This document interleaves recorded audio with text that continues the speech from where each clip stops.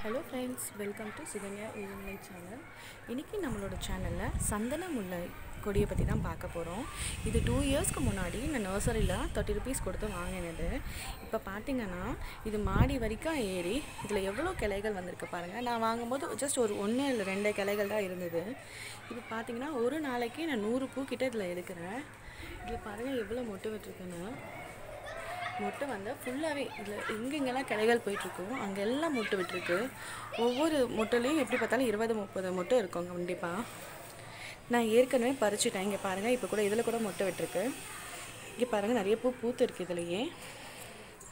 இந்த பாருங்கள் இது நான் எதுவும் பண்ணுறதில்ல மேலே வரைக்கும் நல்லா ஏற்றி விட்டுட்டேன். ஏற்றி விட்டுட்டு அப்பப்போ இதை ட்ரிம் பண்ணி விடுவேன். ட்ரிம் பண்ணி விடுறது மூலிமா இதில் நிறைய மொட்டுக்கள் நிறைய பூக்கள் கிடைக்குது. நான் பெரும்பாலும் பூ வந்து வெளியிலேருந்து வாங்கவே மாட்டேன். எங்கள் வீட்டில் இருக்கிற நித்தியமல்லி கொடியில் இருந்தோம் சந்தனமுல்லை கொடியில் இருந்தோம் அப்புறமேட்டு வந்து பாரிஜாதம் பூ அப்புறம் நாங்கள் செம்பருத்தி மல்லி செடி உங்களுக்கு ஏற்கனவே நான் போட்டிருக்கேன் இல்லையா? இதில் பூக்கிறதே தான் நான் எடுத்து சாமிக்கும் சரி தலையிலையும் சரி நாங்கள் வச்சுக்கிறது. இங்கே பாருங்கள் எவ்வளோ நிறைய பூத்துருக்குங்க. இங்கே மட்டும் இல்லை வெளியில் வரைக்கும் இருக்குது இந்த செடி பார்த்தீங்கன்னா இங்கே பாருங்கள் இன்னும் நான் இந்த செடியை பற்றி இன்டெப்டாக நெக்ஸ்ட் வீடியோவில் போடுறேன். என்னோடய சேனலை சப்ஸ்கிரைப் பண்ணுங்கள் பெல் ஐக்கானை கிளிக் பண்ண மறந்துடாதீங்க தேங்க்யூ